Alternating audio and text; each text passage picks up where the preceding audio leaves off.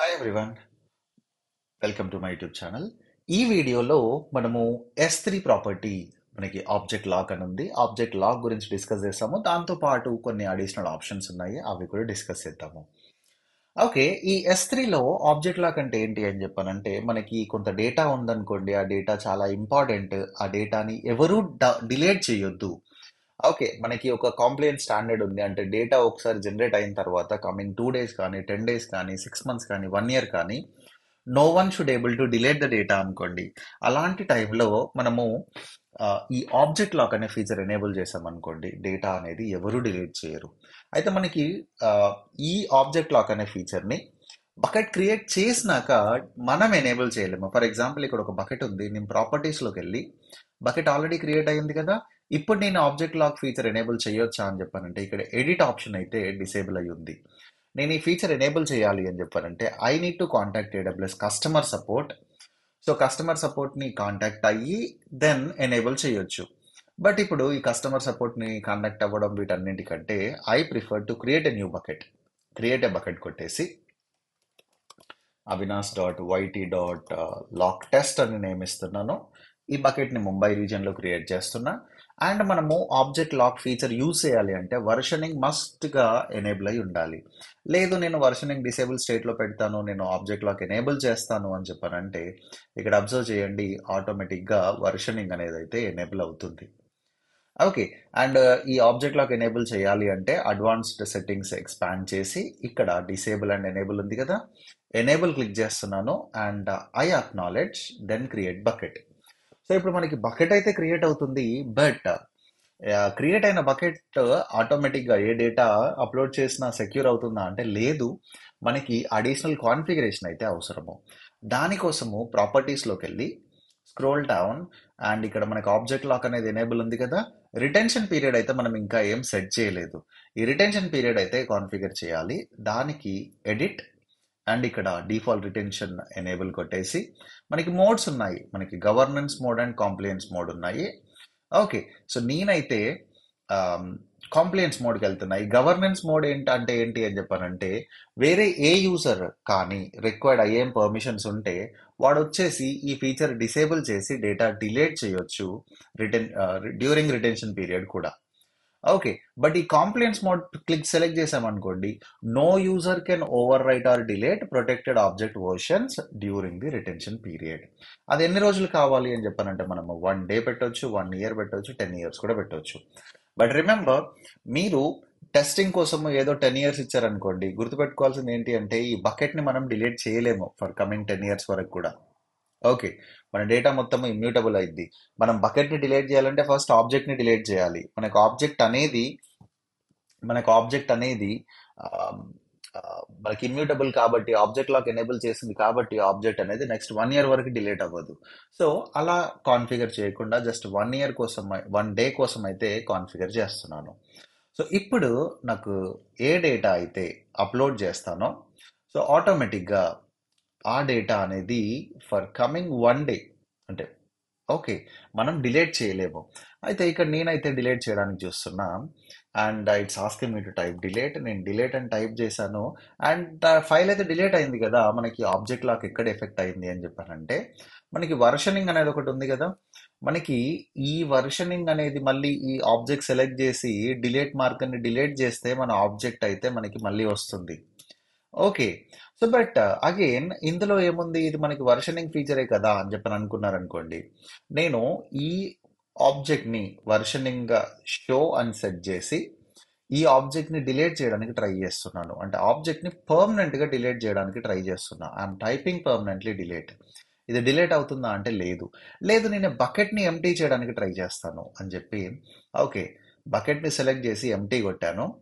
So then it's asking me to type permanently delete okay bucket కూడా delete కావట్లేదు. ఎందుకు అని చెప్పానంటే మనకి ఒక్కసారి ఆబ్జెక్ట్ లాక్ ఎనేబుల్ చేసి డేటా అప్లోడ్ చేస్తే ఈ ఫైల్ అనేది ఇమ్యూటబుల్ అవుద్ది.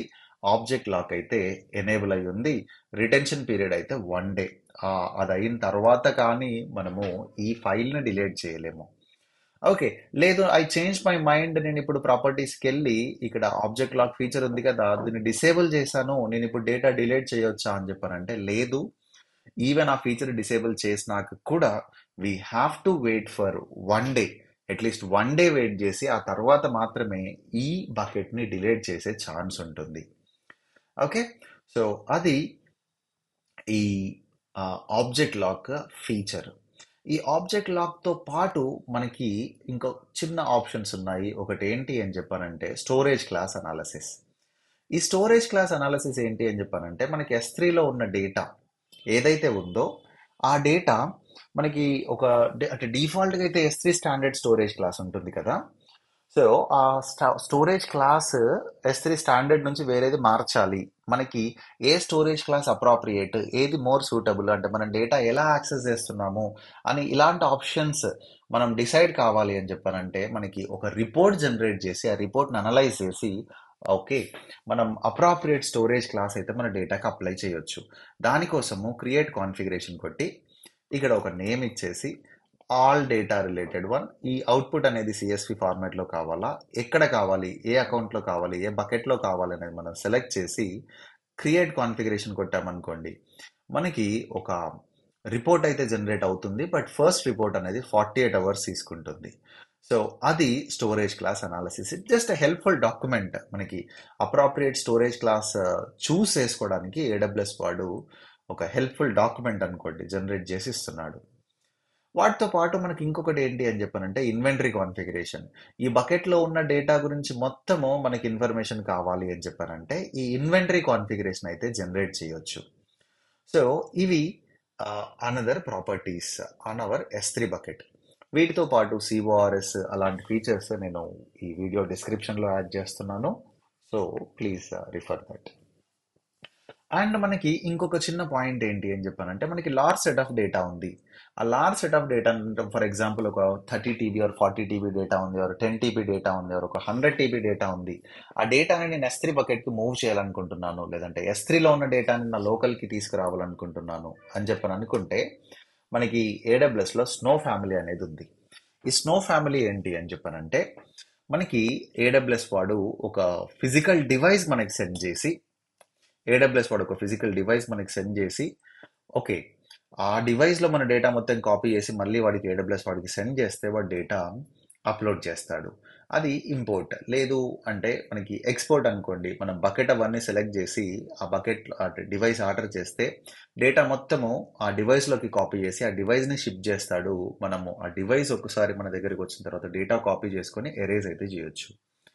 సో నెక్స్ట్ ఏంటి అని చెప్పాలంటే లోకల్ కంప్యూటర్ అండ్ స్టోరేజ్ మనకి ఏడబ్ల్యూఎస్ వాడు ఎంటీ సెండ్ చేస్తాడు. నువ్వు లోకల్ యూసేజ్ వాడుకొని ఎప్పుడైతే నీ రిక్వైర్మెంట్ అయిపోతుందో మళ్ళీ ఎంటీ డివైస్ ఏడబ్ల్యూఎస్ వాడికి సెండ్ చేయొచ్చు. దాని నెక్స్ట్ కొట్టామనుకోండి ఇక్కడ అడుగుతారు. ఇక్కడ మనకి ఏ డివైస్ అవసరమో ఎంత కెపాసిటీ డివైస్ అవసరమో అని. ఈ స్నోకోన్ అనేది ఒక small device fourteen TB supported storage and ఇక్కడ స్నోబాల్ ఎడ్జ్ అనేది మనకి ఎస్ ఎస్డిడిలో ఎయిటీ టీబీ ఇస్తుంది ఎస్ఎస్డిలో వన్ టీబీ ఇస్తుంది. స్నోబాల్ ఎడ్జ్ కంప్యూట్ ఆప్టిమైజ్డ్ వచ్చేసి forty TB thirty nine point five TB data storage ఇస్తుంది. దాంతో పాటు మనకి ఒక సిపియు కంప్యూట్ కెపాసిటీ కూడా వస్తుంది. అంటే fifty two CPUs and two hundred gigs of memory వస్తుంది. దాన్ని కూడా మనం యూస్ చేసుకోవచ్చు. ప్రైసింగ్ ఆప్షన్ ఎలా వెళ్తారు? లైక్ ఆన్ డిమాండా లేదంటే వన్ ఇయర్ కమిట్మెంటా త్రీ ఇయర్స్ కమిట్మెంటా కూడా సెలెక్ట్ చేసుకోవచ్చు. మనకి ఎలా డేటా ట్రాన్స్ఫర్ చేస్తారు? ఎస్ త్రీ డేటా ట్రాన్స్ఫరా లేదంటే ఏదైనా ఎన్ఎఫ్ఎస్ బేస్డ్ క్లయింట్ ఉందా? ఓకే. సో అదొచ్చేసి మనము అది కూడా అంటే network file system based client usage కూడా మనం డేటా ట్రాన్స్ఫర్ చేయొచ్చు. ఓకే. సో అలా దెన్ నెక్స్ట్ ఆప్షన్ ఏంటి అని చెప్పానంటే షిప్పింగ్ అడ్రస్ అవన్నీ యాడ్ చేసి జాబ్ క్రియేట్ చేసామనుకోండి ఏడబ్ల్యూఎస్ వాడు ఆ డివైస్ పంపిసే పంపి పంపిస్తాడు దాన్ని మనం లోకల్ నెట్వర్క్ కనెక్ట్ చేసి డేటా ట్రాన్స్ఫర్ అయితే ఇనిషియేట్ చేయొచ్చు. అది ఏడబ్ల్యూఎస్ నో ఫ్యామిలీ. వాటితో పాటు మనకి ఎస్ త్రీలో ఉన్న డేటాని అంటే ఆన్ ప్రిమైస్ నుంచి ఎస్ త్రీకి యాక్సెస్ చేయడము ఎస్ ఎస్ త్రీ నుంచి ఆన్ ప్రిమైస్ యాక్సెస్ చేయడము అవుతుంది అనుకోండి మనం డేటా కేష్ చేయాలి అని చెప్పానంటే మనకు ఒక సర్వీస్ ఉంది ఏడబ్ల్యూఎస్ స్టోరేజ్ గేట్వే అని చెప్పేసి. ఈ ఏడబ్ల్యూఎస్ స్టోరేజ్ గేట్వే అనేది hybrid storage integration service okay మనము దీంట్లో ప్రాసెస్ ఏంటి అని చెప్పానంటే ఒక గేట్వే క్రియేట్ చేసి ఆ గేట్వేని మనము ఏడబ్ల్యూఎస్ లో కానీ లేదు అంటే మనం ఆన్ ప్రిమైస్లో ఉన్న విఎంవేర్లో ఈఎస్ఎక్స్ఐలో ఫిజికల్ సర్వర్లో కానీ రన్ చేస్తూ ఫ్రీక్వెంట్గా యాక్సెస్ చేస్తున్న డేటాని మనం కేష్ చేయొచ్చు ఈ ఏడబ్ల్యూఎస్ స్టోరేజ్ గేట్వేలో సో మీరు సర్టిఫికేషన్ ఎగ్జామ్ కానీ ప్రిపేర్ అవుతుంటే take some time and read about the storage gateway so వీటితో పాటు మనకి ఎస్ త్రీలో ఒక కన్సిస్టెన్సీ మెకానిజం ఉంది. కన్సిస్టెన్సీ ఏంటి అని చెప్పానంటే మనకి ఎస్ త్రీ బకెట్లో ఏ డేటా అయితే అప్లోడ్ చేస్తున్నామో ఆ డేటా ఎంత కన్సిస్టెంట్ అనేది. మనకి ఇఫ్ కొత్త డేటా అప్లోడ్ చేస్తున్నాము అనుకోండి దాన్ని దానికి రీడ్ ఆఫ్టర్ రైట్ కన్సిస్టెన్సీ అంటాము. అంటే మన డేటా అప్లోడ్ చేయగానే మనకి డేటా మనం ఎప్పుడైతే డేటా అప్లోడ్ చేస్తామో ఇమ్మీడియట్గా డేటా అవైలబుల్ ఉంటుంది. సో దాన్ని రీడ్ ఆఫ్టర్ రైట్ కన్సిస్టెన్సీ అంటాము. ఎప్పుడైతే రైట్ అయిపోయిందో మనం ఇమ్మీడియట్గా రీడ్ చేయొచ్చు. మనకి ఈవెన్షియల్ కన్సిస్టెన్సీ ఉంది. అదంటే ఏంటి అంటే మనం ఇప్పుడు ఈ ఫైల్ని ఓవర్ రైడ్ చేసాము. Okay then at the same time ఒక రిక్వెస్ట్ వచ్చింది నాకంటే. కొన్ని మిల్లీ సెకండ్స్లో ఒక రిక్వెస్ట్ వచ్చింది. సో వాళ్ళకి ఈ ఫైల్ అంటే అప్డేటెడ్ ఫైల్ రావచ్చా? లేదంటే ఓల్డ్ డేటా రావచ్చా అని చెప్పానంటే కొంత ఛాన్సెస్ అయితే ఉన్నాయి ఓల్డ్ డేటా రావడానికి. అదొక ఎగ్జాంపుల్. లేదు నేను ఈ ఫైల్ ఇప్పుడు డిలీట్ చేశాను. నేను just I'm typing delete and at the same time ఒక రిక్వెస్ట్ అయితే వచ్చింది. అంటే నాకు ఇక్కడ డిలీట్ సక్సెస్ చూపించింది ఒక రిక్వెస్ట్ వచ్చింది. కొంత ఛాన్సెస్ అయితే ఉన్నాయి ఆ రిక్వెస్ట్ డెలివరీ కావడానికి. సో దాన్ని మనము ఈవెన్షియల్ కన్సిస్టెన్సీ అంటాము. సో సింపుల్గా put of for put of new objects read after read consistency right. Overriding an existing object or deleting an existing object కి ఈవెన్షియల్ కన్సిస్టెన్సీ అయితే అంటాం మనము ఆల్ రైట్ సో అది మనకి S three consistency mechanism and S three performance improve చేయడం ఎలా ఈ yes three performance improve చేయడం అంటే మనకి జనరల్గా ఒక బకెట్లోకి డిఫాల్ట్గా మనము three thousand five hundred upload చేయొచ్చు five thousand five hundred download చేయొచ్చు పర్ సెకండ్ దాన్ని ఇంక్రీజ్ చేయాలి అంటే మనము ఒక ఫోల్డర్ క్రియేట్ చేసి ఓకే మనకి పర్ఫార్మెన్స్ అనేది ప్రిఫిక్స్ లెవెల్ ఇప్పుడు నేను డైరెక్ట్గా ఎస్ త్రీ బకెట్లోకి అప్లోడ్ చేయకుండా నాకు ఫోల్డర్ వన్ ఉంది కదా folder వన్లోకి three thousand five hundred uploads initiate చేయొచ్చు folder టూలోకి three thousand five hundred uploads initiate చేయొచ్చు. అంటే నేను same బకెట్కి at a time seven thousand objects అయితే అప్లోడ్ చేస్తున్నాను. సో అలా మోర్ ప్రిఫిక్సెస్ క్రియేట్ చేసి ఆ ప్రిఫిక్సెస్కి సైమంటేనియస్గా అప్లోడ్ చేస్తూ సేమ్ బకెట్కి మనము ఎన్ని డేటా అంటే అంత డేటా మనము అప్లోడ్ చేయొచ్చు. ఇప్పుడు డౌన్లోడ్ అనుకోండి.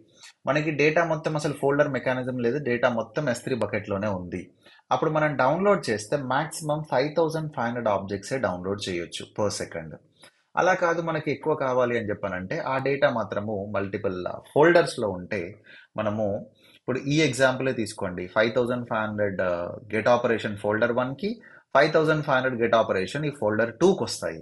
సో ఇలా డిఫరెంట్ ప్రిఫిక్సెస్ మెయింటైన్ చేస్తూ మనము ఎస్ త్రీ పర్ఫార్మెన్స్ అయితే ఇంప్రూవ్ చేయొచ్చు. వాటితో పాటు ఫైల్ నేమ్స్ వెరీ జనరిక్గా కాకుండా అంటే image one image two image three అలా కాకుండా మనము ఈ ఫైల్ నేమ్స్కి కొంచెం ర్యాండమ్నెస్ ఇంక్రీజ్ చేస్తే కూడా ఏదైనా సెర్చ్ కొరీ అవుతుంది. అలాంటి టైంలో సెర్చ్ కొరీ అవుతుంటే మనకి డేటా రెస్పాన్స్ అనేది చాలా క్విక్గా ఉంటుంది. సో అలా కూడా మనము ఎస్ త్రీ పర్ఫార్మెన్స్ అయితే ఇంప్రూవ్ చేసుకోవచ్చు. ఆల్ రైట్ ఈ ఆప్షన్స్తో నేను ఎస్ త్రీ మాడ్యూల్ అయితే క్లోజ్ చేస్తున్నాను. ఐ హోప్ మీకు ఇది యూస్ఫుల్ అనుకుంటున్నాను. మీకు ఈ సిరీస్ అయితే యూస్ఫుల్ అనుకుంటే please take a minute and subscribe to our YouTube channel okay and see you again in our next video thank you guys